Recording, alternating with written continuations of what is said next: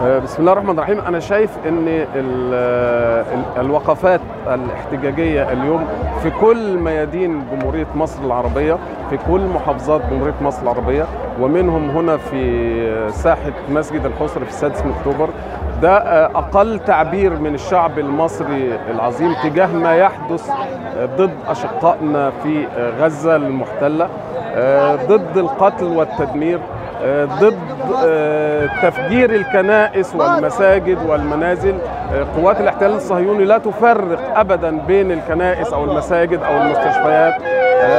هذا الاحتلال الغاشم يحتاج إلى رد فعلا.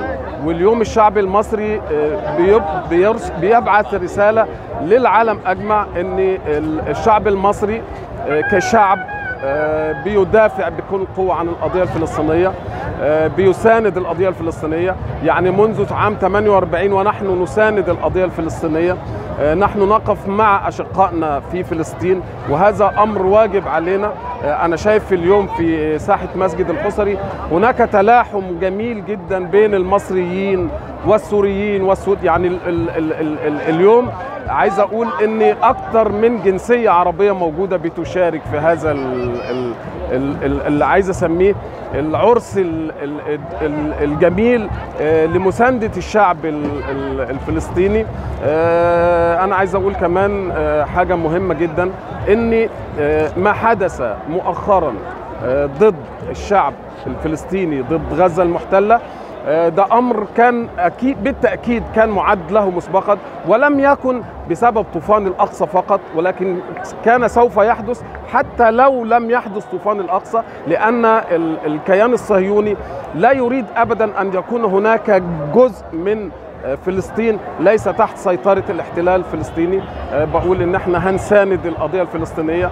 عايز أقول حاجة كمان تتعلق بينا كنقابة الصحفيين المصرية. إن إحنا أول نقابة مصرية عربية في مصر والعالم العربي منذ عام 80 تصدر جمعياتها العمومية حظر قرارا صريحا بحظر كافة أشكال التطبيع الشخصي والمهني والنقابي مع الكيان الصهيوني. عايز أقول أيضا أن النقابة الصحفيين هي أول نقابة تصدر بيان عقب طوفان الأقصى بحق الشعب الفلسطيني في الدفاع عن نفسه والدفاع عن أرضه. أيضا نقابة الصحفيين أول نقابة في مصر تدعو إلى وقفة رسمية وكانت وقفة احتجاجية على سلالم نقابة الصحفيين شارك فيها الألاف من الزملاء الصحفيين. فعايز أقول إنه ده أمر طبيعي ليس غريب علينا كمصريين أو كصحفيين مصريين أن نساند الشعب الفلسطيني. ويمكن من خلالك أنا عايز أستنكر الحوادث الإرهابية الصهيونية ضد الصحفيين الفلسطينيين. عندنا لا يقل عن 15 صحفي فلسطيني استشهدوا في الأيام الماضية. عندنا حوالي 50 صحفي فلسطيني تعرضوا للإصابات. عندنا مؤسسات إعلامية فلسطينية تعرضت للدمار الكامل.